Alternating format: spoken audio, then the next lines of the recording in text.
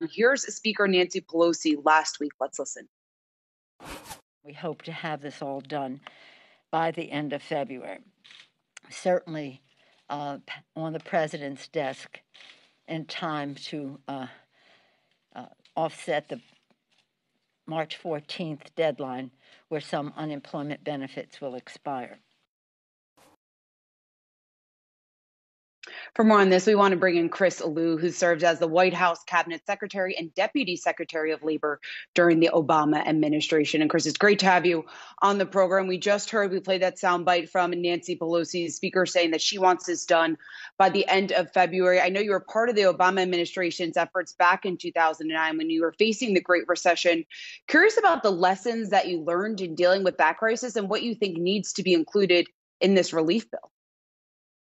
Well, the lesson that we all learned from the Great Recession in 2009 is that unless you provide sustained economic stimulus and relief, and right now we're simply just doing relief, what it means is that any recovery takes longer to take hold, and the pain to people in this country, particularly those people out of work, uh, is worse. And we know right now that we're already facing the highest number of long term unemployed people in this country that we have seen since the Great Recession. We've seen millions of other people drop out of the workforce. Uh, and as you just said, uh, about 11 million people are going to lose their enhanced unemployment benefits uh, in mid March. So, yes, bipartisan action is important, but action, period, is important. And so that is why President Biden is moving forward with his $1.9 trillion proposal. Obviously, if there's room for compromise with Republicans, I know that's what he would prefer. But we can't afford to wait right now because it's not about the politics in Washington. It's about the people who have to uh, uh, come up with money to to pay their rent, to buy groceries, uh, to buy gas, and right now that lifeline, that economic lifeline, is so desperately needed. Secretary Lu, I think a great many of us agree that a lifeline is needed. But then what? Because the world has changed. The world of work has changed. So, what happens to these people in a post pandemic world? Because a lot of these jobs are not going to be the same or perhaps even come back. Right. First, we need to provide this lifeline because we know that the economy doesn't fully recover uh, until we get the pandemic under control. That's probably at this point not until second, third, maybe even fourth quarter of this year.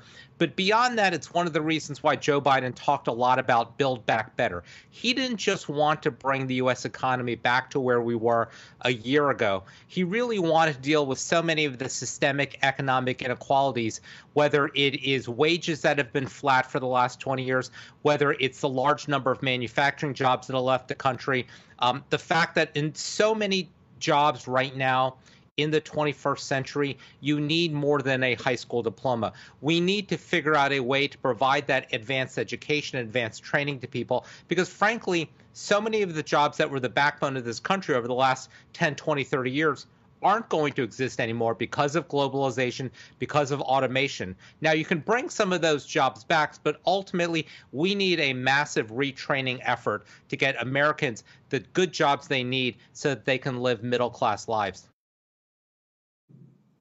In the past relief packages, there have been a lot of expansions of the unemployment insurance programs. Do you think any of those should be made permanent going forward? Well, I think what we need to do is get out of this um, posture we're in right now that when unemployment goes up, we provide these benefits and we're always sort of lagging behind where they should be. Or as happened in December, there was a lapse of benefits for people because Congress couldn't uh, get, get its act together to, to pass this uh, to, to, to pass the extension. So what I would propose and what a lot of economists think is that we need more automatic triggers that when the unemployment rate goes up, the amount of enhanced benefits goes up. When the unemployment rate goes down, we bring that down.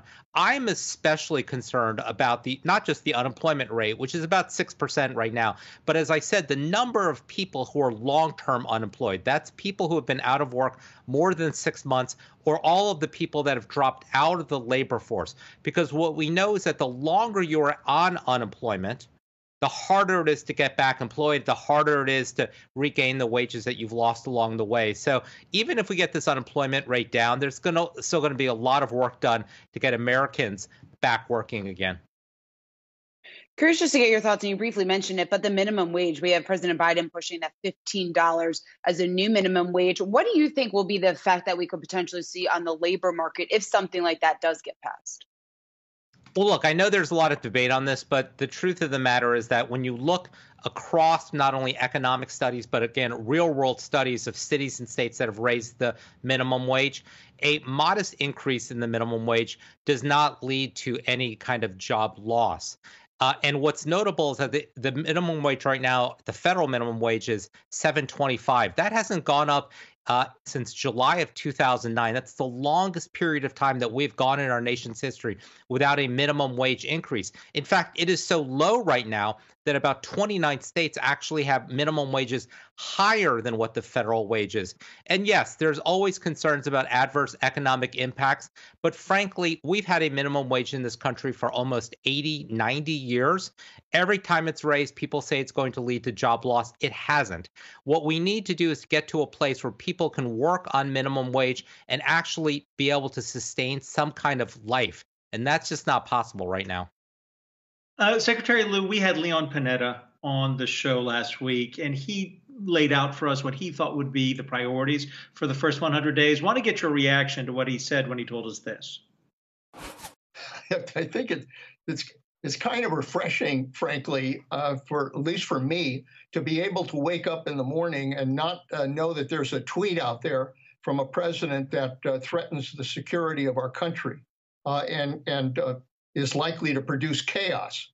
Uh, it was it's been a disturbing four years, very frankly, and to have a president who is experienced and qualified, cares about the country, cares about the rule of law, uh, that's kind of refreshing. And I think I think Joe Biden understands that his primary responsibility right now is to deal with COVID uh, and the threat from COVID and the fact that uh, people are dying uh, that we have to get this vaccine out and that we have to provide assistance to uh, to the un- unemployed and to the businesses that have been impacted by this terrible disaster. That's the first priority that the president has, and I think he sees it, he understands it. That's why he's working on this aid package. What do you think, Secretary Lu?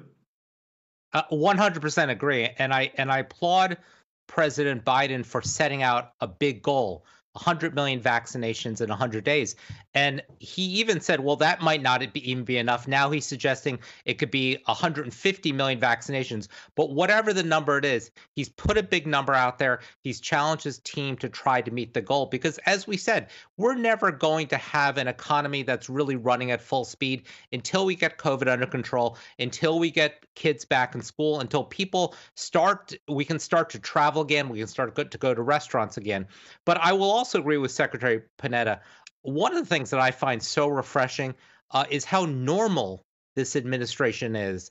Uh, we are having disagreements, as we always do in Washington, but they're policy disagreements. We're not insulting people. You showed a clip of the president meeting with uh, Republican lawmakers. It was, by all accounts, a civil conversation, a constructive conversation. Nobody insulted anyone afterwards. And that's how things should work in Washington. And I think we've forgotten a lot of that over the last four years. And I think this sense of normalcy, of competence, of expertise, I think is what we need right now.